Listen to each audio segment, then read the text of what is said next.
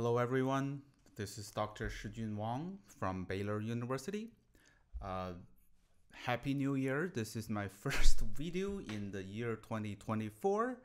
Uh, as you may see that I've upgraded my gears and now I can have multiple microphones, one that is intaking my voice and the other um, is recording inside the piano. Um, I want to have a big shout out to uh, Josh White, who helped me uh, answering a lot of questions on how to set up these um, uh, recording devices. Um, he really has been doing great things in helping young musicians and he is very generous when I ask him about these uh, questions. And he and I we went to the same music festival in year 2010, so 14 years ago. Um, great musician, great teacher, and really a, a, very, very nice fellow. So I really want to thank him in helping me uh, and also in helping my audiences. Um, in today's video, I will continue uh, working on the Beethoven Sonata, uh, Appassionata movement number two.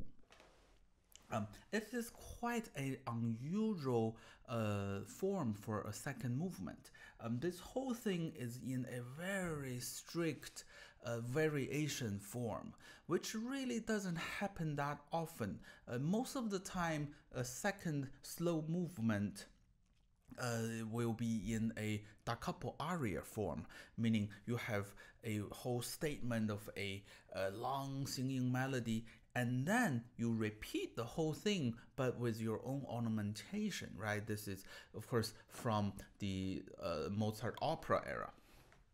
But here we have a 16 bar uh, variation, and we do this um, from a very, very basic chord progression.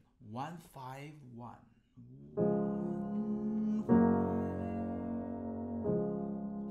Followed by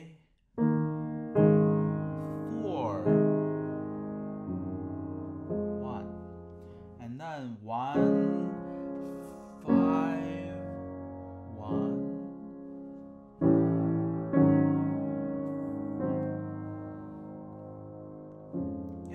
really just right.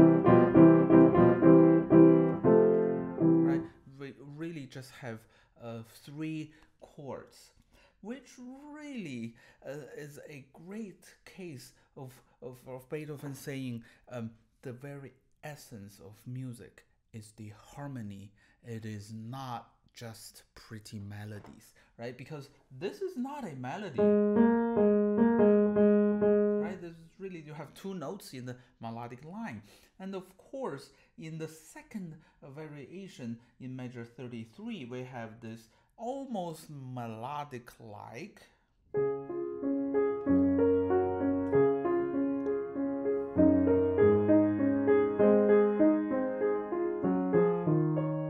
Right? Or you might also argue in measure 49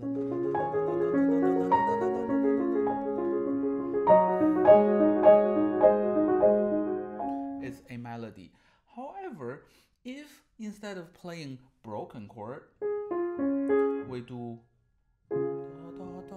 block chords, it's exactly the same as the very beginning.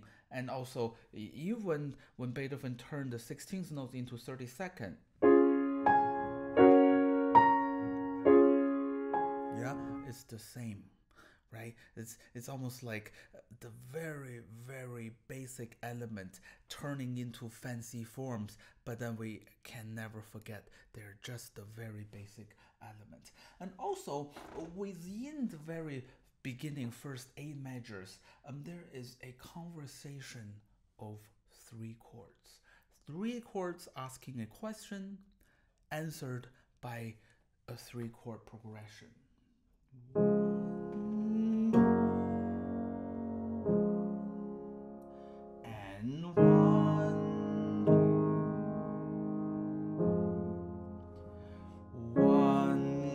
asking a question. Got answered by. Yeah and of course um, there is no dynamic markings on each chord but we have to know the chord here. The tonic it's not as intense and this dominant chord we have to expect something a little bit more. So it's really not the chord itself, but how do you get from one chord to the other? A lot of this has to be uh, our imagination. But when you have that expectation, that's how you can connect notes, right? Um, Horowitz once said, "Music, uh, uh, when you're playing, where is God? God is not on any note, but it's in between notes, right? So we can easily just play notes without connecting them in our head, but it really shows. And the other very good evidence is how can we play major five that's sforzando followed by a piano? We can't just bang it, it, it doesn't uh, seem right. So we have to really imagine that sound to be almost like out of control And then regret right after. Yeah, because I think my understanding of a sforzando followed by a piano is that it's supposed to be piano, but then somehow you're overexcited, or the composer is overexcited. He wants you to show it's almost like you're out of control. You you bang that note, but then you regret right after. Okay, and the other thing that is very very important is to show the double dot. It's the not dotted rhythm. It's not one, two, three, four, one, but then da da da da da da da da. Right. So it's a 30 second note, which means we have to feel a more closely connected with the following note, not the note before.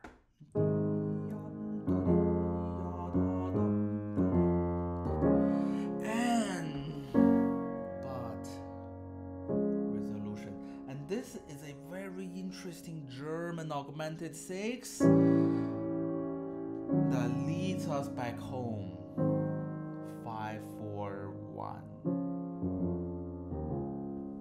And here in the next part, and as I said, the main theme has 16 measures. So there is like an eight measure first part and then an eight measure second part. And within the second part, we have measure 9, 11, 13 exactly the same and then we have measure 10, 12, and 14.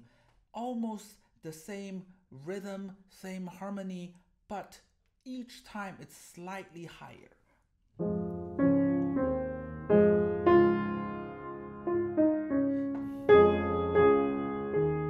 Right? We go from D to F to A flat. It's almost like, you know, Beethoven was trying different uh, chord uh, positions. Um, but what's the message behind this? It's the unchanged versus the development. So this beginning measure 9 is unchanged. It's something that always come back the same. And this is the changing or the seeking out. And then it's always coming back unchanged. So keep it flat. And then this time you go a little further. Now, that's the biggest leap. But then at the end, it's soft. then, how did Beethoven um, different sections. Um, one of the biggest tool he used is rhythm. Yeah. So I mean, since we already have chords and we have broken chords, so here what's going on is that left hand and right hand between the two hands we have syncopated rhythm, and that also creates tension.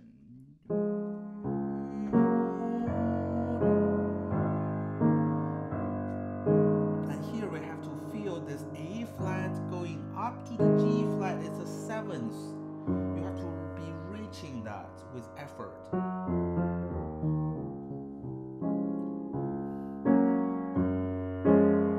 German.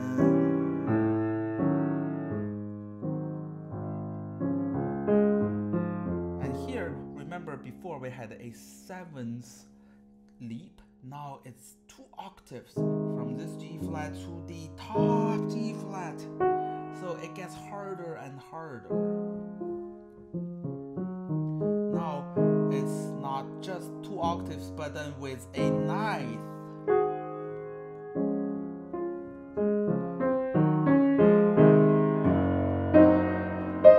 Even further. But remember, everything drops to the very beginning stage. And here, yes, it's a quite pretty melody, but then let's not forget this is one, two, five, back to one with these kind of uh, tonic, dominant tonic. So we can't play them as a flat uh, melody or simply just sing without considering the intensity of of the harmony.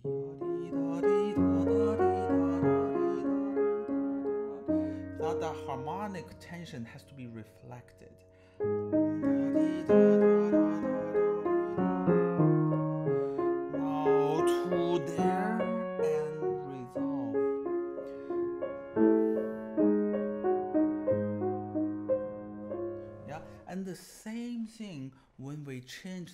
Into the left hand.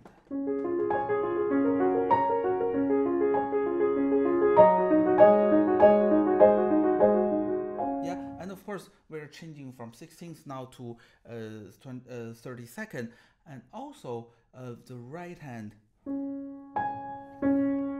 has the syncopation, and then when the syncopation disappears, although it's forte, but it's more relaxed.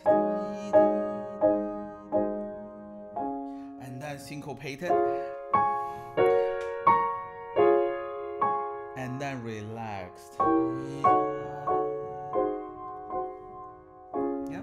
And for this part, one of the biggest challenge for young musicians and even for uh, professional musicians is how to stay in the same tempo from the very beginning we have quarter notes. First variation, eighth note. Next variation, 16th.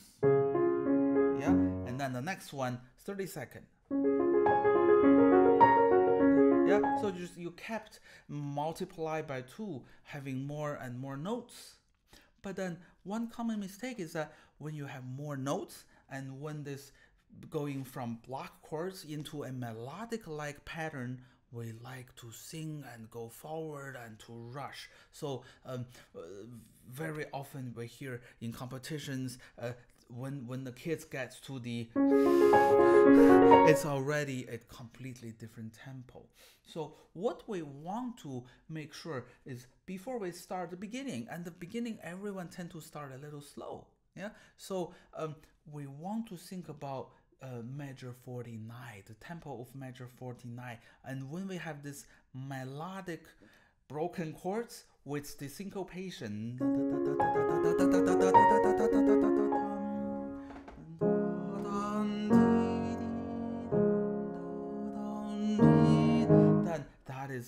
our tempo. So when we reach the climax with this fortissimo.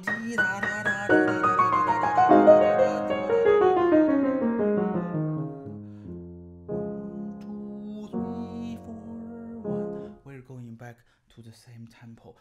And this is really a kind of a common thread in the romantic era that the beginning and the ending are the same right? It's kind of a life is a circle kind of uh, mentality. So here after the development of this um, beautiful theme and then we're going back to where we were. Two three four. But then yeah what's coming next? The answer is one octave above compared to the very first statement.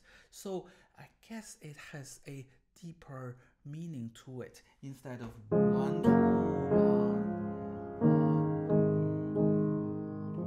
Now it's a different tone. One, two, one, two,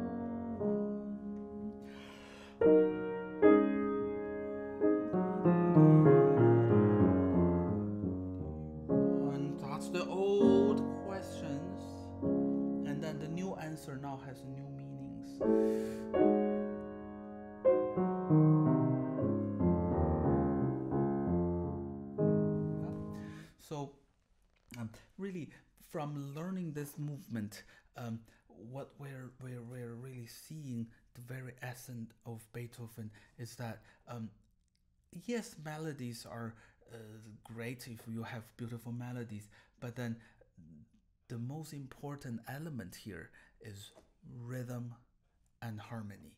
And the changes between the intensity and then relaxation. Because after all all music starts or most of the time starts with tonic chord and then they go through different development different changes and then they finish in tonic chord it's almost like this whole sonata is a lifelong journey and then it ends from where it began.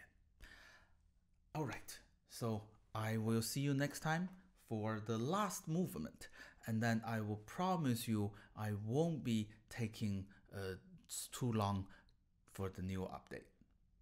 See you next time.